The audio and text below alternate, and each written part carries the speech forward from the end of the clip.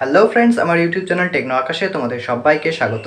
আমি এবার চলে এসেছি নতুন একটা ভিডিও নিয়ে। তো আজকের ভিডিওর মাধ্যমে আমরা শিখব হোয়াটসঅ্যাপের পাঁচটা হিডেন ট্রিক্স তো লাস্টে যে ট্রিকটা বলব, সেটা খুবই ইম্পর্টেন্ট এবং আশা করি তোমাদের ভালো লাগবে। তো সেই ট্রিক্সগুলো কী সেটা জানতে ভিডিওটি সম্পূর্ণ দেখো এবং ভিডিওটি যদি ভালো লাগে, তাহলে ভিডিওটিতে একটা লাইক করো। যদি ভিডিওটি আরও ভালো লাগে, তাহলে আমার চ্যানেলটিকে সাবস্ক্রাইব করে পাশে থেকো।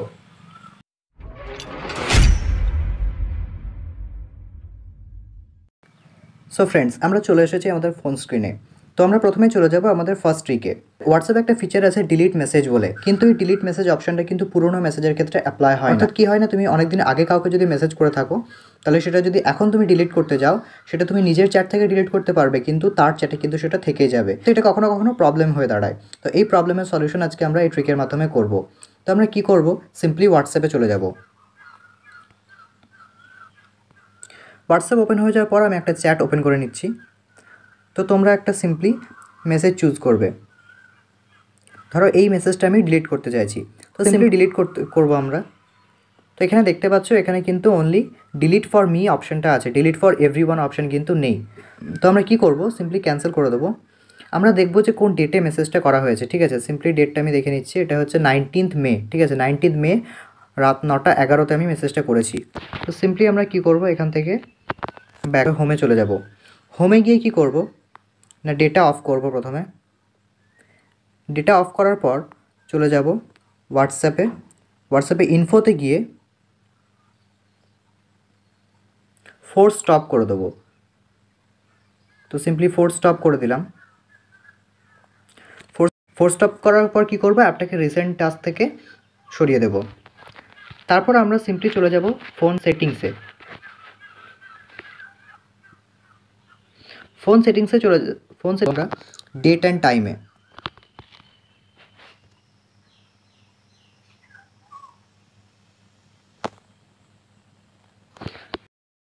এটা আমরা সেট করব নাইনটিন্থ মেতে যেহেতু নাইনটিন মেতে মেসেজটা করা হয়েছিল। তো সিম্পলি আমি করে দিলাম।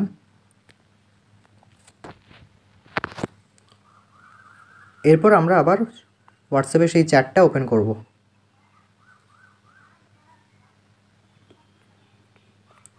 এরপর আমরা চলে যাব সেই পার্টিকুলার মেসেজে তো আমি সিম্পলি এখান থেকে ডিলিটে যাব। দেখো, এখানে কিন্তু delete for everyone option চলে এসছে, যেটা কিন্তু আগে আসেনি। তো এই গেল ফার্স্ট ট্রিক সো ফ্রেন্ডস এবার আমরা জানব সেকেন্ড ট্রিক আমরা জানি কি না হোয়াটসঅ্যাপে কোনো মেসেজ ফরওয়ার্ড করতে গেলে সেটা একসাথে পাঁচজনের বেশি ফরওয়ার্ড করা যায় না। তো চলো দেখে নেওয়া যাক এই সমস্যার সমাধান কি। প্রথমেই আমরা কি করব? হোয়াটসঅ্যাপে চলে যাব।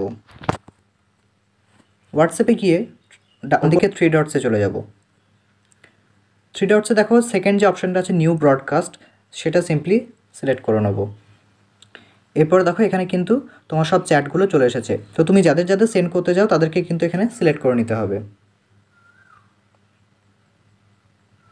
দেখো আমি কিন্তু এখানে পাঁচজনের বেশি সবাইকেই সিলেক্ট করতে পারছি।